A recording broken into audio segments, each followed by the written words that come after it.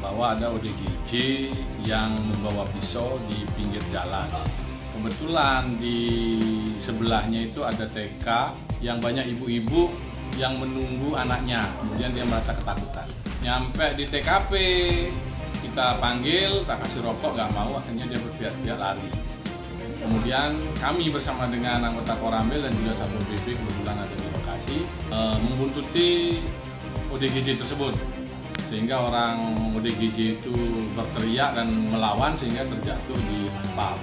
Dari situlah kita bisa mengamankan, kita borgol, kita bawa ke polsek. Setelah itu orang tuanya datang, perangkat desa, kepala desa datang, ya kita serahkan kepada keluarganya untuk diobati atau dibawa ke rumah sakit jiwa untuk